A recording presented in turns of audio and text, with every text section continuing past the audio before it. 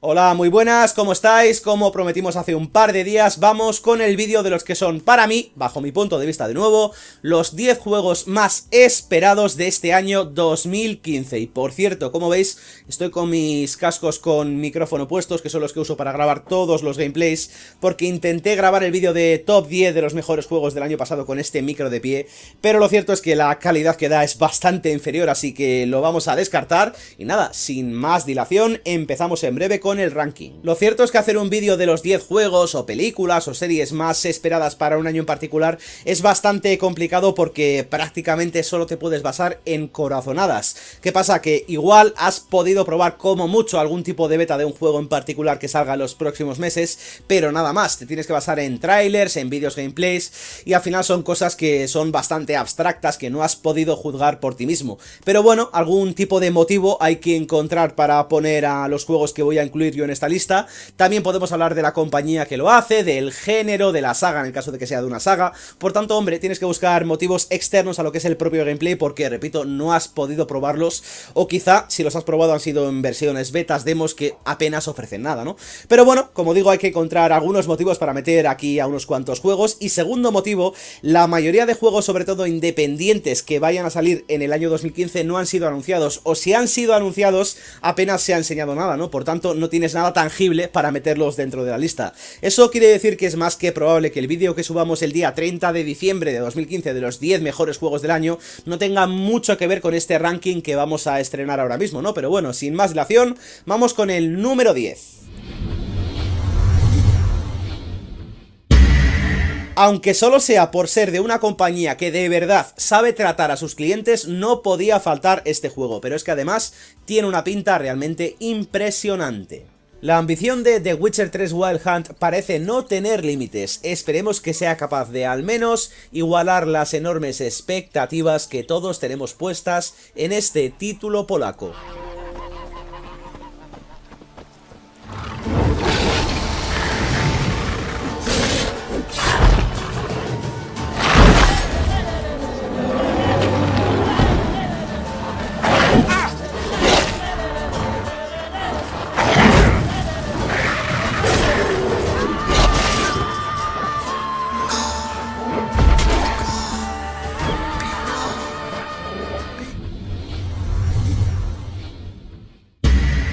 Me encanta que los juegos me entren por los ojos desde el primer segundo y no, no hablo de que me inyecten por vena Unreal Engine 4, hablo de que yo vea una imagen, un vídeo y yo diga, quiero estar en ese mundo. Ejemplo, The Vanishing of Ethan Carter. Y este juego número 9, desde luego, lo cumplió desde el primer momento. Soy fan de Zelda desde hace muy poco, y este será el primer juego de la saga que tenga desde el día de lanzamiento. Si es tan bueno como bonito, podemos estar tranquilos.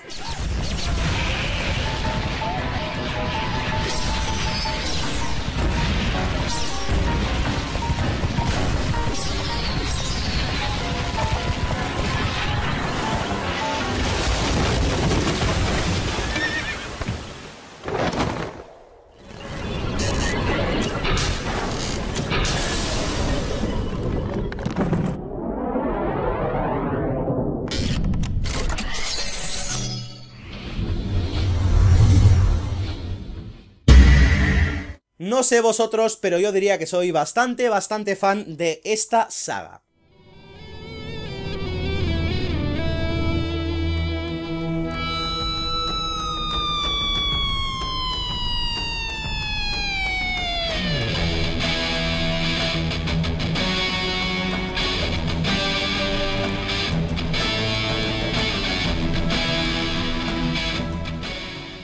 No está mal, ¿no? El test definitivo para 343 Industries que tomaron el relevo de Bungie en Halo es Halo 5 Guardians. Se les va a examinar con lupa. Yo tengo bastantes esperanzas.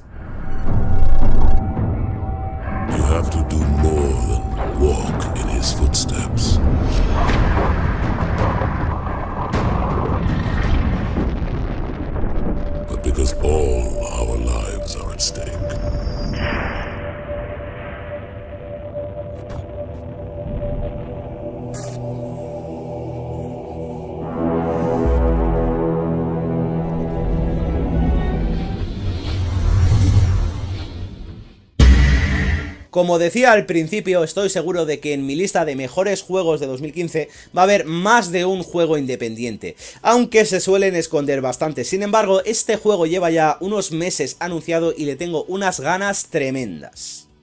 Un juego de guardabosques, Firewatch es de esas ideas que no hace falta ni examinarla para saber que se trata de un desarrollo independiente. Por supuesto, tiene pinta de que nos aguardan muchas, muchas sorpresas. Uh, no new smoke on my end. Well, the wind is really picking up. It's two and a half miles off. And it's gonna have to break at the canyon, right? All right. Well, use your best judgment. Should I be worried? Delilah, should I be worried?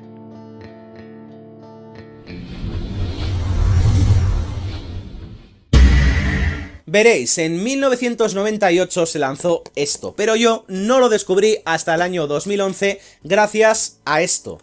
¿Qué pasa? Que en el año 2000 se lanzó esto, así que ya os imagináis cuál va a ser el siguiente juego de la lista.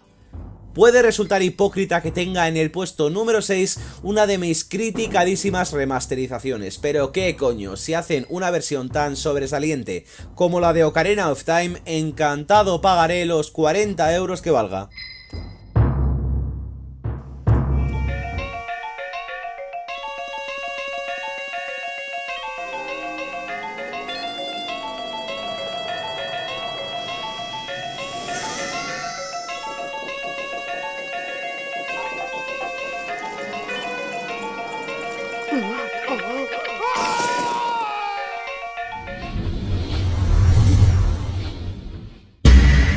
Seguramente este juego mucha gente lo esperaría más arriba, pero bueno, dicen que no hay quinto malo, ¿verdad?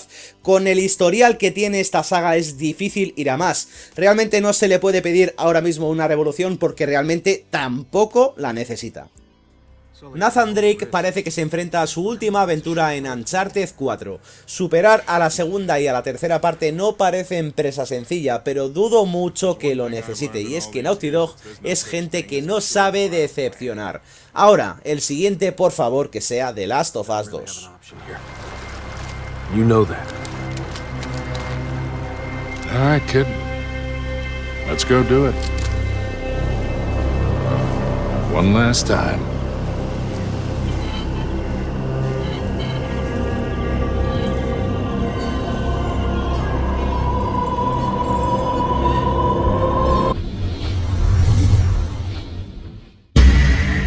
Mirad, este juego tiene una pinta de serie B que tira para atrás, seguro que está lleno de situaciones absurdas y que eso de los miles de finales distintos es completamente mentira, pero le tengo unas ganas tremendas. Mezclar Heavy Rain con una película de terror adolescente facilona solo puede resultar en algo catastróficamente malo o incomprensiblemente bueno. Apuntadme a mí en la segunda lista.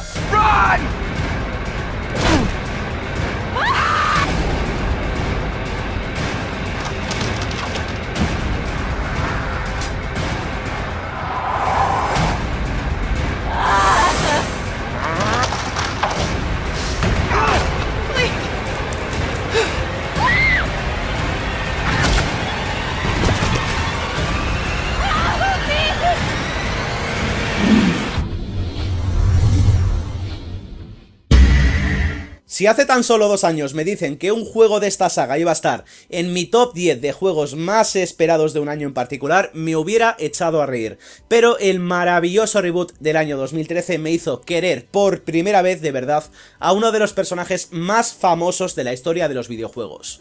Alabada seas. Un caso parecido al de Uncharted 4 con este Rise of the Tomb Raider, que además comparten género, solo espero que no conviertan a Lara Croft de golpe en un robot indestructible sin emociones. Quiero la misma Lara de 2013.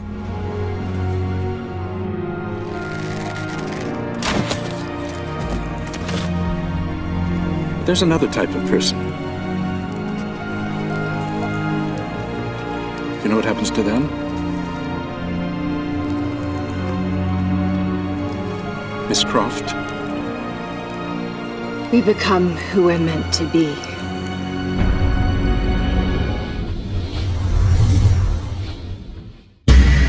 No os voy a engañar, me costó bastante cogerle el punto a este juego, seguramente porque estaba deseando que la compañía que lo hace estuviera trabajando en otro proyecto distinto, pero la verdad, entre más lo veo, más me gusta y más lo quiero.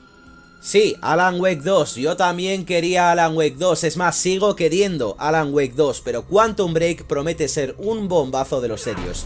Al fin y al cabo, hablamos de una compañía con Max Payne y Alan Wake a sus espaldas. Mi confianza ciega la tienen. Okay. Paul said people would try to steal our research. Oh. Hard way.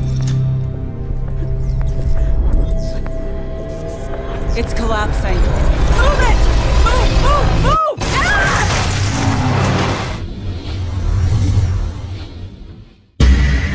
Del número uno, del que es para mí el juego más esperado de este año 2015, no voy a decir absolutamente nada. Las imágenes hablan por sí solas.